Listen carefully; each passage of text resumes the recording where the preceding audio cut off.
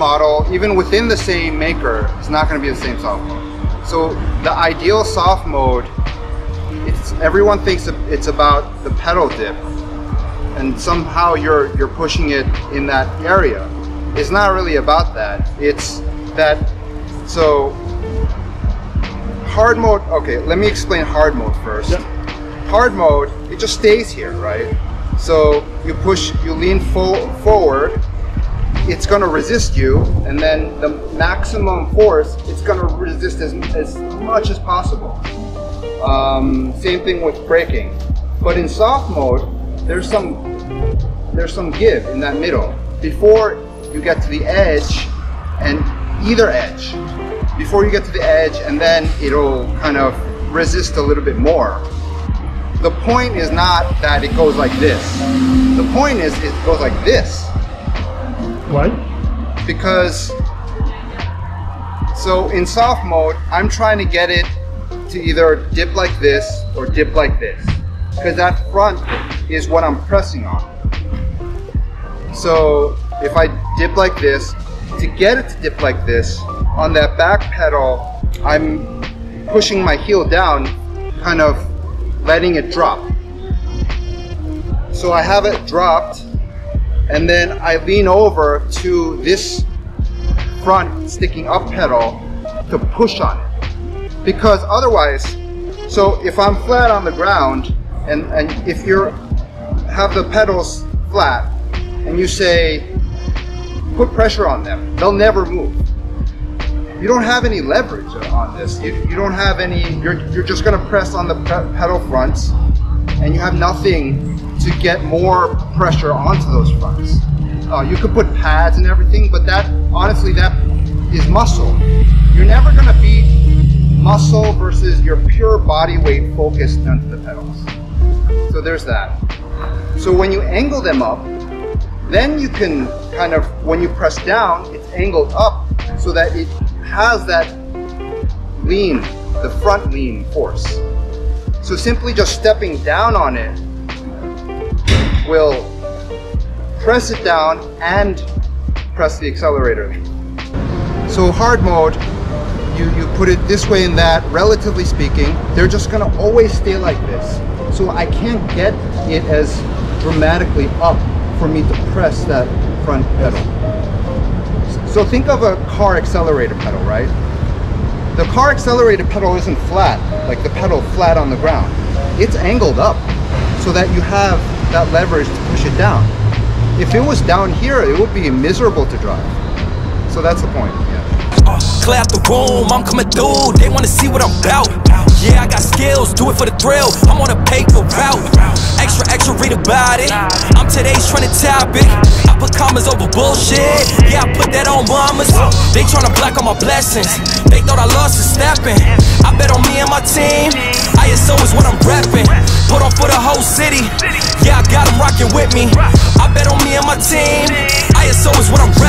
So, soft mode, ideally, is in the middle, there's freedom to move because you want the freedom to push that back pedal down so that the front pedal sticks up to press on it. So in that middle point, you so yeah, you stick it up and then you press down and then as you press down at a certain point, the resistance the resistance increases.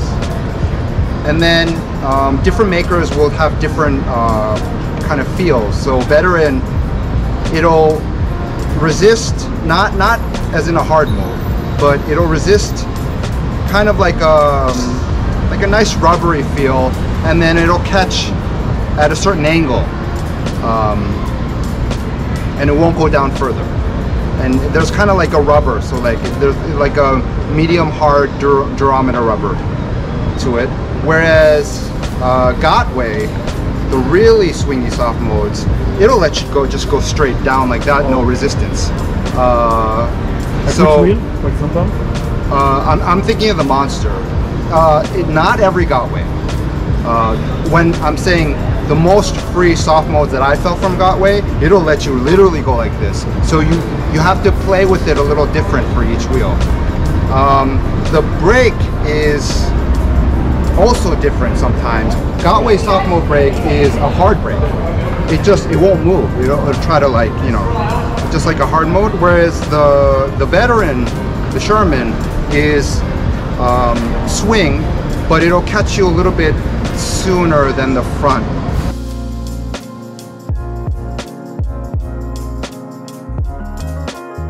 So the idea is that you want to, okay, flat pedals, you would have to, you know, go face to the ground to really get the maximum uh, force on it, right? The, there's no stability there. There's no leverage. It's just all you're trying to get all on the front of the foot.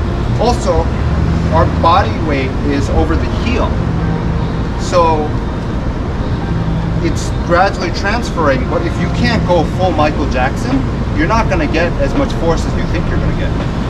Um, one concept is if you heel up, then automatically you bring your body weight force up closer to the pedals so that when you when you press on the pedal fronts it's more the body weight line moves the front so that's one part the other part is leverage. So if I um, if I push on something, right, I'm gonna stabilize with this uh, back foot to push off so that I can push. I'm pushing with my body, my arms, but I'm also pushing off of against the ground so that it's it's the counter forces, the leverage, leverage.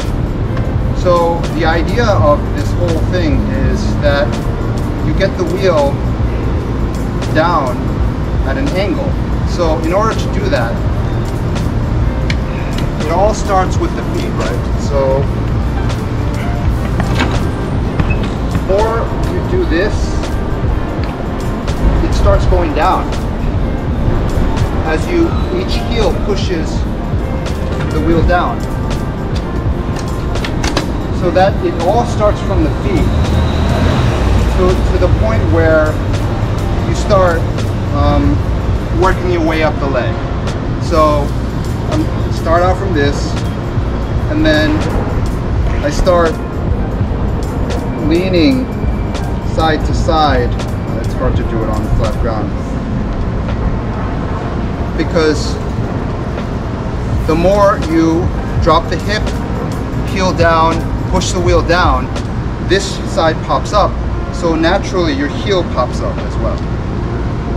So the more you do this, it works up the body even more. You want to emphasize each, it's kind of a lot of this kind of motion, right? So I'm kissing my hip, uh, each hip, each time, alternating as if I'm touching the front. So like that.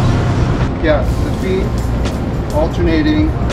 Because if you think about it,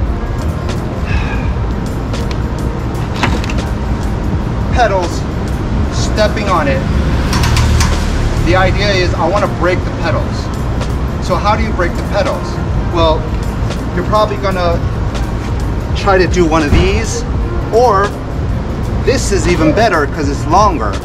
And then if I pin this down and force this down, then it's gonna be impart even more force.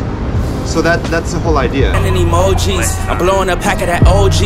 Don't be acting like you know me. And if you did, that's the old me. Time, rock a cold fleece. Pocket fat, that's obese. Only talking money if it's increased. She give me brain, girl, no teeth. I touch down, bust down. She busted open for a real nigga. Stay up, trying to build it up, trying to count it up, hill figures.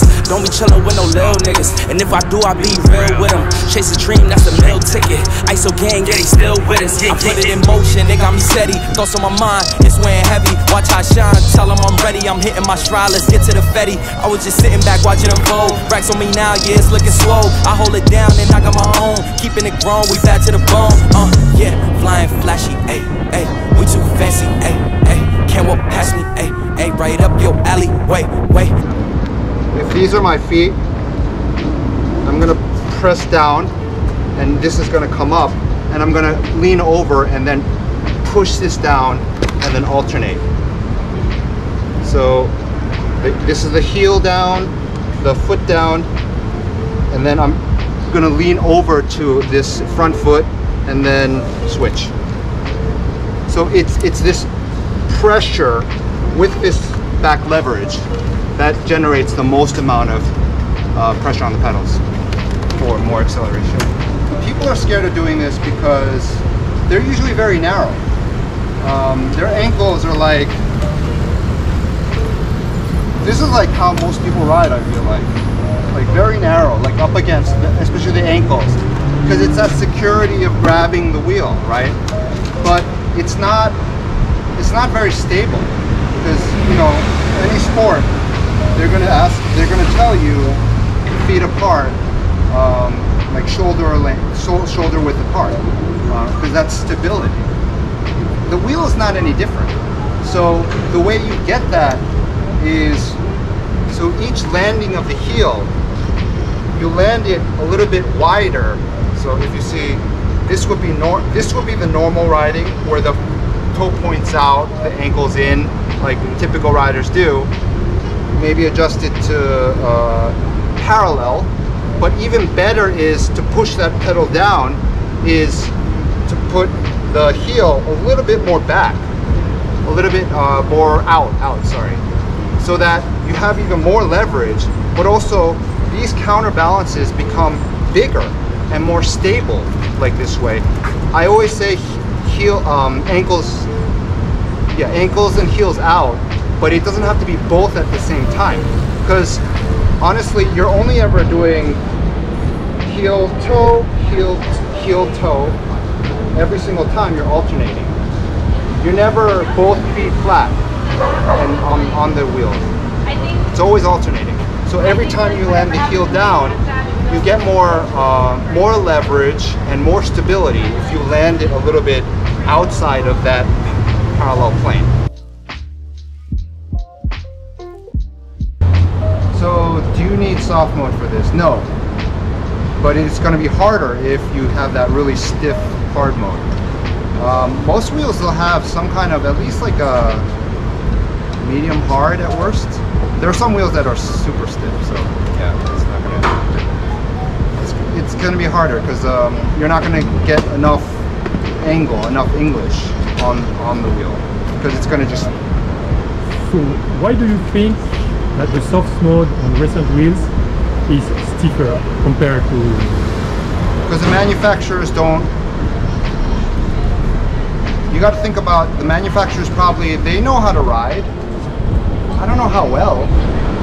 And they're also trying to satisfy their customers. So if all their customers are complaining that, oh, you know, I love this this soft mode, right? I'm not going to complain about this soft mode, but all the the new riders, um, the ones who ride hard mode longest, they're all going to complain. So yeah, that's why. I see what you mean, but what's the point to add a soft mode that is stiff, since you already have medium and hard?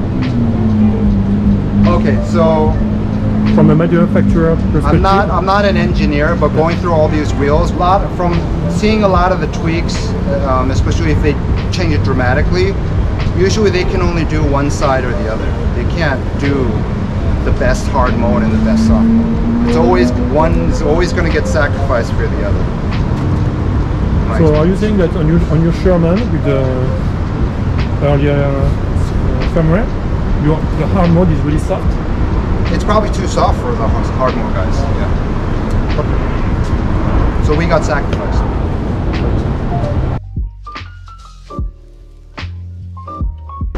Why do new riders or riders in general like to ride with pads? You love to imitate stuff you see on YouTube, that's one of it. Um, it's also easier. Like my way, I don't think it's gonna catch on because it's not one it's not a month, it's not a few months, it's like years.